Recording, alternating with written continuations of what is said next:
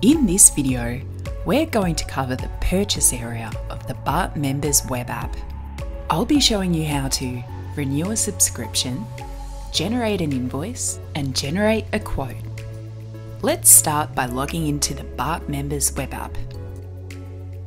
In the main menu down the left hand side, select Subscription.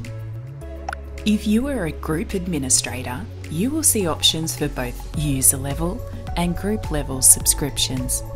If not, you will only have the option to renew your own individual subscription.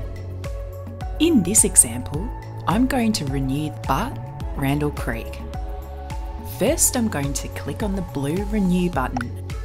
Once I've read over the terms and conditions, I can click the checkbox provided and select Next. On the next screen, I can see the number of users within my group and elect how many licenses I want to renew. When I type a number into the licenses field, you'll notice that the price will automatically update. After clicking Next, I can see a summary of the purchase.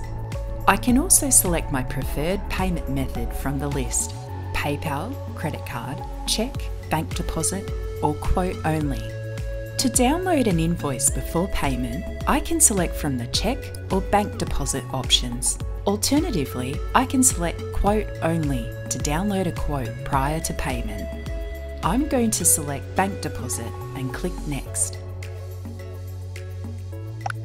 After copying the bank account details provided, I'm going to make sure my details are all correct before I click complete. Once completed, I can view and download the invoice generated. Thanks for watching.